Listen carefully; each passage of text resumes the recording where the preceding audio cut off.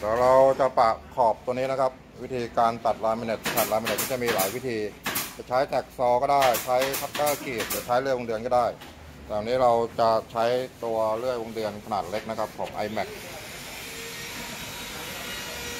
นะครับเดี๋ยวเราดูวิธีวิธีตั้ง เราก็จะซอยที่3เซนเราก็ดันรั้วไปที่สเกลที่3เซนนะครับ แล้วล็อกไว้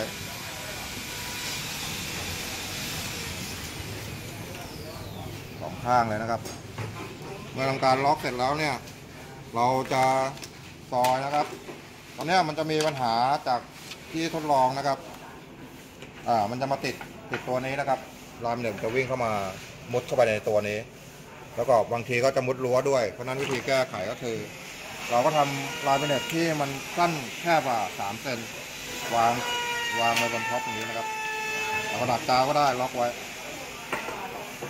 เพื่อที่จะอ่าดูระยะตรงนี้นะครับเห็นไหมครับ มันจะไม่มุดละเดี๋ยวลายเด็กมันจะผ่านตรงนี้ไป แล้วมันจะอยู่ไม่ไม่มุดเข้าไปในรั้วด้วยนะครับ เพราะว่ามันอยู่บนนี้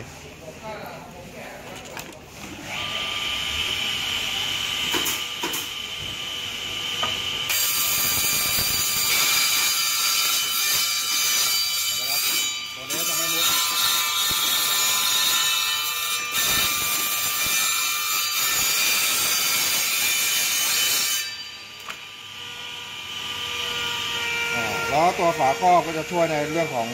สเก็ตนะครับ ไม่ให้กระเด็นเข้าหน้าเรา เราก็จะทำงานได้สะดวกและไวขึ้น อันนี้จะเป็นของยี่ห้อ iMac นะครับ